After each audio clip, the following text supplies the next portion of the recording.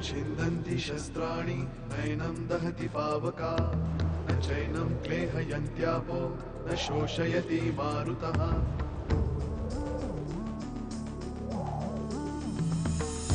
दिवसामागुणरात्र धावते सकाळ संध्याकाळ सूत्रधार जो या साऱ्याचा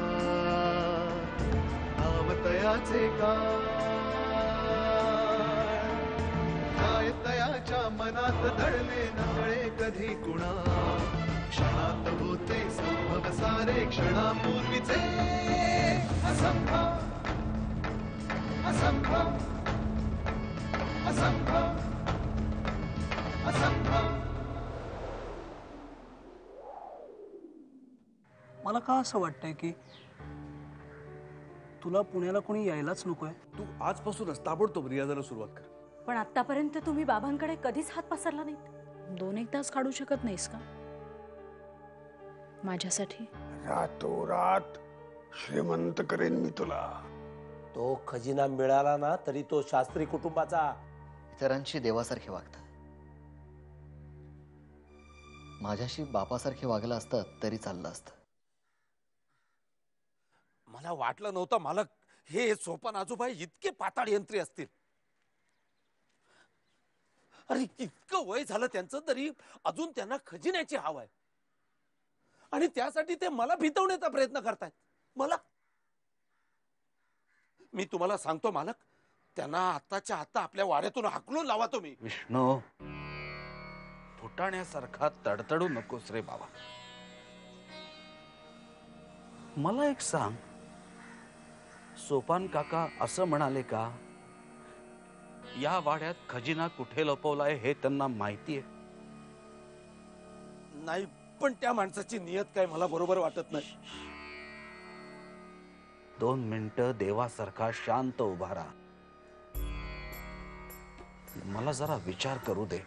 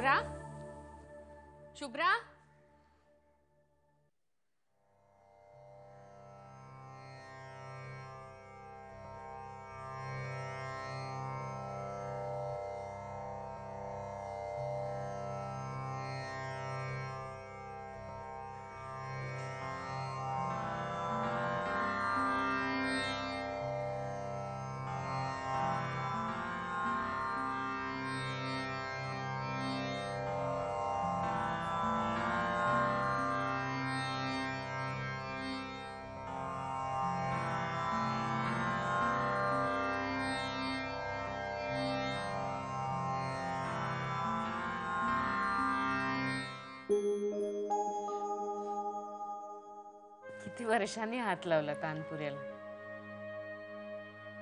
मग का सोडलं गाणं तुम्ही? बाबा कालच सांगत होते की तुम्ही किती छान गाता ते. बाबांना हे गाणं खूप आवडतं. सोडलं नाही ग बाई. सुटलं आपोआप. संसाराच्या धबडग्यात राहूनच गेलं. हे नेहमी माग लागायचे. पण एका पाठोपाठ एक तीन मुलांचं करण्यात सगळी वर्ष निघून गेली बघ. हा आता मुलं मोठी झाली आहेत स्वतंत्र झाली आहेत. पण माझी वेळ निघून गेली. आता नाही शक्य. का नाही? तुम्ही अजूनही रियाज केला तर? नाही ग बाई. प्रत्येक गोष्टीची एक वेळ असते. आणि आता इच्छाही नाही राहिली. पण तू शिकतेस ना? शिक शिक. देवानं दिलेली कला वाया घालवू नकोस. आणि हे सुद्धा तुम्हीच मला सांगताय. ज्याचं वाया जातं ना त्यालाच त्याचं जास्त महत्त्व कळतं.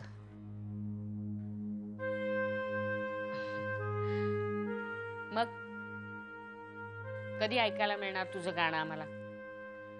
तुमचं गाणं ऐकायला मिळालं की लगेचच. तू काय वेडी आहेस का? अगं, गणपतीच्या आरत्या म्हणण्यापलीकडे माझा आणि गाण्याचा गेल्या कित्येक वर्षात संबंधच नाही आलेला. तानपुराची तार छेडलीच आहे तुम्ही. तर मग एखादं गाणं म्हणा ना. माझ्यासाठी. आता सकाळी सकाळी मी गाणी म्हणत राहिले, तर घरातली कामं कोण करणार? बघ तुला तेच विचारायला आले होते की जेवणाचं काय करूया? आज प्रियाही नाही जेवायला आणि आधी नाही. आपण दोघीच आहोत. काय करूया? मग तर काहीच नको करूया. आई तुम्ही गाणं गायलात ना तर आपोआप पोट भरेल माझं. तुला फाजीलपणा काय सुचतोय ग? मी जातेच आई, कशी. एक गाणं. नाही ग बाई आई, गाणं कुठलं? एक मला गाणं. कुठलं येतंय अहो, पण मी काय तुम्हाला तरी सांगते उगाच ना. तुझा हट. मी काय म्हणतो मालक? या मी सोपान सांगतोय तेवढंच कर आणि तसंच वाघ कळलं. ठीक आहे. नक्की काय करायचं? सोपान काकांना मदत केल्यासारखं दाखव. काय? अहो पण ते माझं बोलणं पुरतं ऐकून घेणार आहेस का विष्णू? सांगा. माझी अख्खी हयात गेली. त्या खजिन्याचा शोध घेण्यात. पण त्याचा मागमूसही लागला नाही मला. सोपान काका, माझ्याही आधीपासून या वाड्यात आहेत. महादेव दादानी तो खजिना लपवला त्यावेळी सोपान काका त्यांच्या ऐन तारुण्यात असतील. त्यांना त्यांना नक्कीच काहीतरी माहीत असणार. कारण त्यांनी नक्कीच काहीतरी पाहिलं असणार. ऐकलं असणार. केवळ आता शरीर साथ देत नाही म्हणून त्यांना तुझी मदत हवी आहे. ती मदत केल्यासारखी दाखव. मी नाही मालक असं खोटं खोटं वागू शकत. का रे? चोरा? महाशिवरात्रीच्या उत्सवात गावच्या नाटकात नारदाची भूमिका अगदी चोख वठवलीस. ते वेगळं मालक. काहीही वेगळं नाही. इथेही तुला नारदाचीच भूमिका करायची आहे. सोपान काकांना नेमकी काय माहिती आहे ती त्यांच्याकडून काढून घ्यायची. गेली अनेक वर्ष. या वाड्याच्या उदरात गडप झालेलं रहस्य. त्यावर पुन्हा प्रकाश पडू दे विष्णू. मला मला खजिन्याचा मोह नाही विष्णू. पण आयुष्यभर प्रयत्न करूनही या वाड्यातच कुठेतरी असलेल्या एका गोष्टीचा आपल्याला शोध घेता आला नाही. याची बोच लागली आहे. मनाला बुद्धीला. शब्दकोड पूर्ण सोडवल्यावर एकच शब्द अडून राहावा तसं झालंय.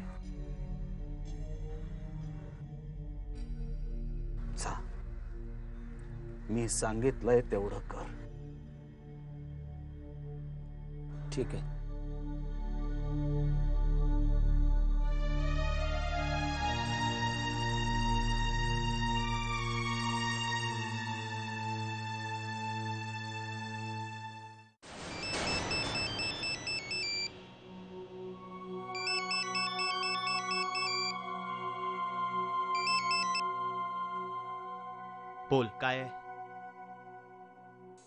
इतक्या वृक्षपणे का बोलतोयस तू माझ्याशी आधी? तसं काय नाही आहे का बोल. काही नाही. पुन्हा तेच विचारायला फोन केला होता. प्लीज मला एकदा भेटशील आधी? सुलेखा. यानंतर आपण पुन्हा भेटायचं नाही. या विषयावर बोलायचं नाही. मला सगळं सगळं मान्य आहे आधी.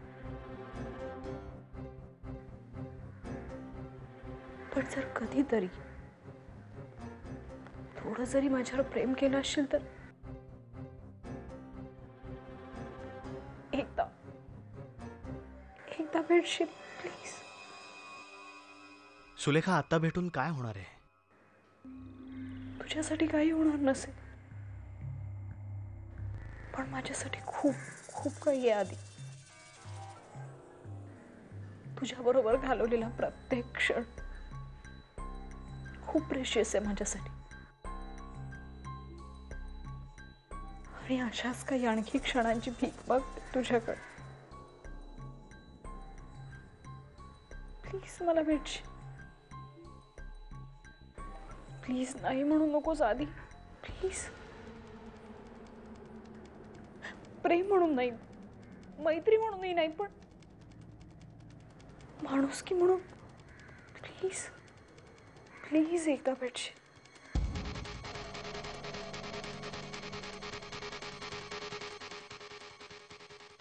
ठीक आहे कधी कुठे आणि किती वाजता?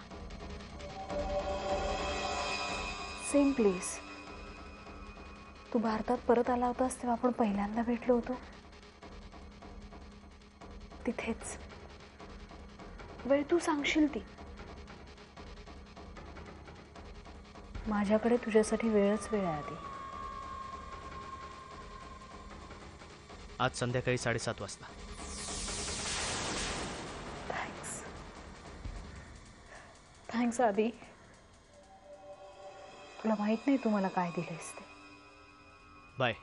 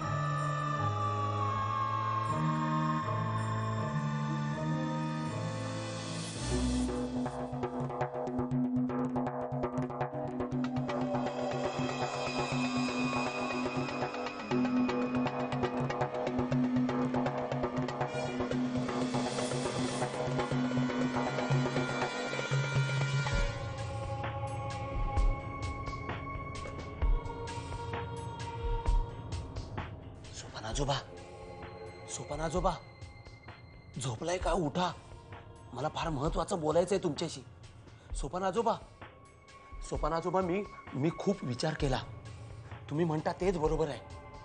शेवटी आयुष्यात कुणीच कुणाचा नसतो. काय मिळालं हो मला इथे आयुष्यभर राब राब, राबून? आणि उद्या अचानक मालक गेले. तर मग माझं काय? त्यांची मुलं तिकडे मुंबईत. उद्या वाडा विकून बिकून टाकलं तर मी येईन रस्त्यावर. अहो, ते कारकुनांना मिळते तशी पेन्शन सुद्धा कोणी देणार नाही मला. आजोबा, ऐकताय ना तुम्ही? आजोबा, मी सकाळी थोडा चिडलो होतो, पण नंतर विचार केल्यावर माझी ट्यूबलाईट पेटली. मी तुमच्या बरोबर तो खजिना शोधायला तयार आहे. आजोबा, तुम्हाला माहिती आहे? तो खजिना कुठे आहे ते? हा? विष्णू.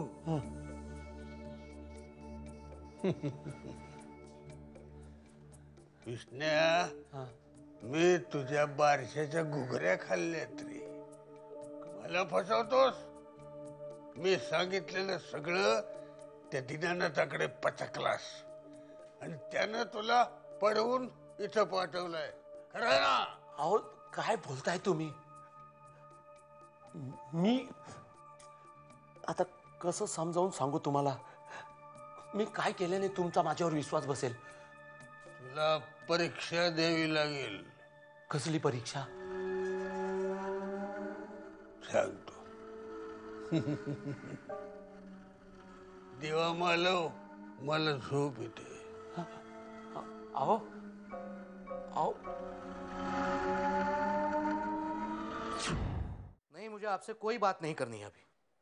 नहीं, क्या क्या ज़रूरत क्या है? फ़ायदा क्या है?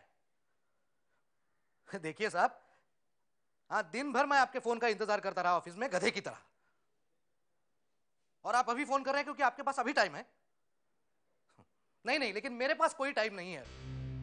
नो क्या कर रहा हूँ? छक मार रहा हूँ मैं। नहीं बात करनी है मुझे, नहीं काम करना है आपके साथ, ना आपकी कंपनी के साथ दैट्स इट नकोय मला आता कुणाशी भांडत होतास? आहे ग एक एक एक क्लायंट आहे ग. वीट आलाय मला या सगळ्या लोकांचा. आत्ता बोलवतोय मला मीटिंगसाठी त्याच्या बापाचा नोकर आहे मी. त्याच्या बापाचा नाही आहेस पण कुणाच्या तरी आहेस ना? ए आता तू सुरू करू नकोस काहीतरी. ओके सॉरी नाही बोलणार मी बस. नाहीतर इतकी वर्ष बोलून काय फरक पडलाय म्हणा? म्हणजे? काय म्हणायचं काय तुला? बाळ तुझ्याकडे कपॅसिटी आहे पोटेन्शियल आहे बुद्धी आहे. सगळंच आहे तुझ्याकडे. पण हे सगळं तू दुसऱ्यांसाठी खर्च करतोस. त्याला कोण काय करणार रे? नुसती बुद्धी असून भागत नाही मॅडम भांडवल कॅपिटल ऐकलेत ना हे शब्द? ते सुद्धा लागतं. बाळ तू कुठच्या जमान्यात आहेस? आजकाल आपली बुद्धी हेच आपलं कॅपिटल असतं. आणि आपल्याकडे जर का बुद्धी असेल ना तर हजारो लोक तयार असतात पैसे फेकायला. हो का? पण या हजारातला एकही मला सापडलेला नाही अजून. कारण तू शोधला नाहीयेस. कारण वेळ नाहीये माझ्याकडे. कारण तू नोकरी करतोस. जो वेळ तुला तुझा बिझनेस डेव्हलप करण्यात घालवला पाहिजे तोच वेळ तू इतरांची चाकरी करण्यात घालवतोस. आणि त्यांना तो वेळ सुद्धा पुरत नाही बाळ. म्हणून तुला असे फ़ोन येतात वेळी हे बघ पूनम मी स्वतःचा बिझनेस करायचा ठरवलं ना तर एवढा सुद्धा वेळ राहणार नाही माझ्याकडे. चालेल? चालेल मला. बाळ तू जर का सकाळी गेलास ना कामावर आणि थेट रात्री आलास ना तरी चालेल. कारण मला या गोष्टीचं समाधान असेल की तू जे काही करतोयस ना ते स्वतःसाठी करतोयस. बाळ का धमक नसती पोटेन्शियल नसतं, तर मी तुला फोर्सच केला नसतं रे. मला माहिती आहे, तू खुश नाही आहेस. तुझी घुसमट होतीये. खरं सांग. तुझी महत्वाकांक्षा आहे की नाही? स्वतःचा बिझनेस उभा करण्याची? खरं सांग बाळ. नुसती इच्छा असून काय उपयोग? सत्य परिस्थिती काय आहे? त्याच परिस्थितीच्या समोर तू गुडघे टेकू नयेस असं वाटतंय मला. बघू. बघतच राहायला लागणार आहे बहुतेक मला. पूनम!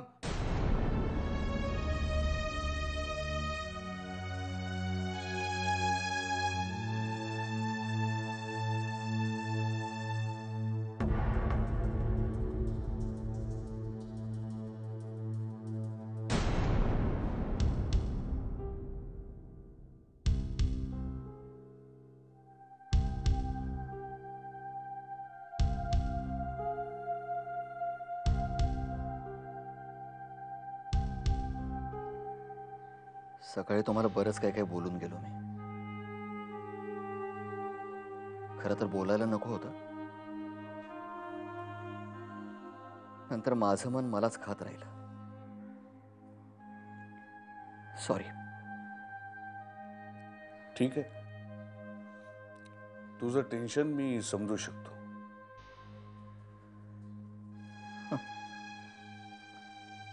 समजू शकता. पण मदत नाही करू शकत. चंदू तुला असं वाटतंय का की माझ्याकडे पैसे आहेत आणि मी तुला देत नाही? तुमच्याकडून गेल्यानंतर बऱ्याच जणांचे उंबरे घासले मी. कुठंच काही जमलं नाही. मला सुचतच नाहीये काय करायचं ते. तुम्ही बाळ काकाला विचारून बघा ना. त्याच्याकडे असतील पैसे. तू स्वतःच का नाही बोलत? माझ्याबद्दल त्याच्या मनामध्ये अडी आहे. म्हणजे कोणत्याही प्रकारे मला मदत करायचीच नाही अशी शपथ घेतली आहे तुम्ही. चंदू मुस्काट फोडेन तुझं मी. आयुष्यभर दुसरं केलंय काय तुम्ही बाबा? चंदू! मला माहिती आहे तुझ्या मनामध्ये माझ्याविषयी पूर्वग्रह आहे. आणि ते डोक्यात धरून तू माझ्याशी वाद घालतोयस. वाद कोण घालतंय बाबा? तुमच्याशी वाद घालून काय उपयोग आहे? काय कसला वाद चाललाय? नाही काय नाही. तू कुठे बाहेर चाललास अं, माझी एक मीटिंग आहे. आत्ता? हाँ एक प्रेझेंटेशन आहे. मी आलोच. थांबा दे. काय झालं? चल जाता जाता सोडतो मी तुला. तू निघतोस काय करू मग थांबून?